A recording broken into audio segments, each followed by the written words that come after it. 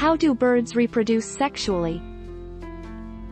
During mating, a male bird presses his cloaca against his mate's cloaca and passes sperm from his cloaca to hers. After fertilization, eggs pass out of the female's body, exiting through the opening in the cloaca. Do birds kiss? When birds appear to be sharing a kiss, it is usually a sign of courtship.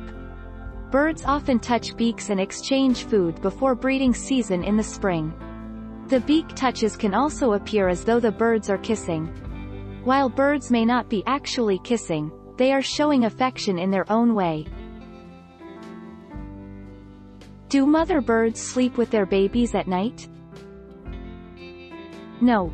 That's a myth. Birds hardly ever sleep in nests unless they're babies or if it's a cold night and the adult parents cuddle up to the babies to keep them warm.